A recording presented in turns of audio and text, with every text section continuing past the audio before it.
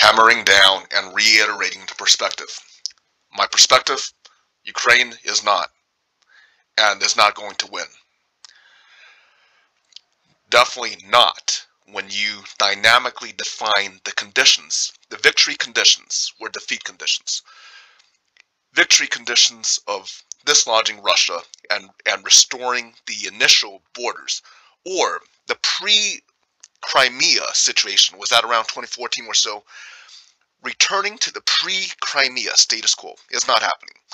And this land corridor is unlikely to budge. So, in by defining victory in terms of territorial restoration, that's not going to happen, in my opinion.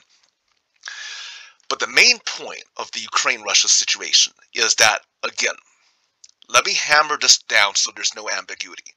If so, so you have this rhetoric saying the Chinese want peaceful reunification, so-called reunification. There's nothing to unify with because they were never one country. But let's point this out. Let, let me hammer down the point so fools who don't understand military science, who don't have military science training, can comprehend. If Taiwan was connected to China like Tibet is by landmass, Taiwan is finished in 72 hours. The reason, so you have people saying Taiwan is like Ukraine. They are not.